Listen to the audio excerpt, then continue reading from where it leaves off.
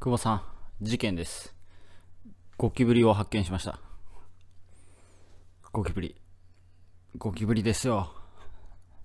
退治しました。でもゴキブリの赤ちゃんだったんで、親玉がどっかにいるかもしれないですね。マジかと。久しぶりに、ゴキブリだいぶ駆除のあれ置いてるんですけど、ちょっとゴキブリ出てきましたよ。マジでっていう。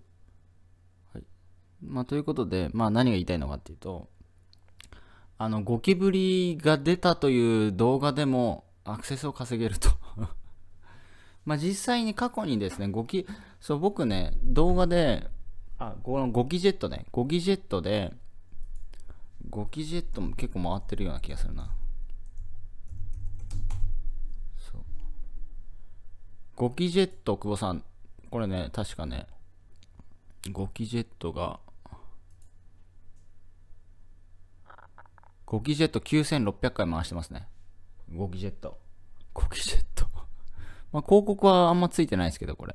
広告はどうなんだ？広告はついてるか？アナリティクス見てみましょうか。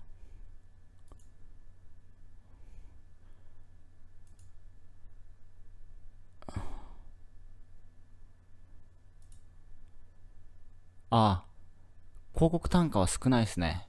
ゴキジェットに対しての広告単価は。うん。まあ、あの、でも、1000円以上は稼いでくれてますね。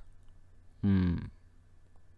このただ、ゴキジェットでゴキブリを退治するという動画なんですけど、1000円ぐらい稼いでくれてます。つまり、この本体よりお金を稼いでくれてますね。ゴキジェット。ゴキジェットで、ね。そう。だからなんだろうな。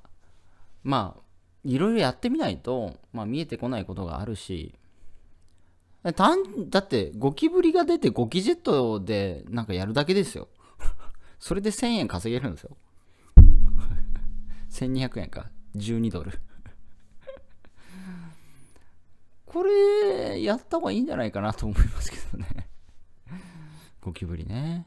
ゴキブリちゃん、僕、ゴキブリちゃんだけ苦手ですね。ゴキブリは本当に苦手。まあちっちゃい頃は大丈夫だったような気がするんですけど、ゴキブリはね、ほんときついっすね。あれ何なんですかね。まあ同じ生き物なんですけど、そう、テラフォーマーっていうね、ゴキブリを絵にしたアニメ。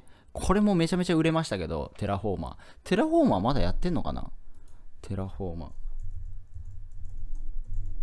テラフォーマーですか？ゴキブリが主人公なんですけど、はい、えー、テラフォーマーズ映画化。映画化になったんだ、これ。映画にもなってるんですね。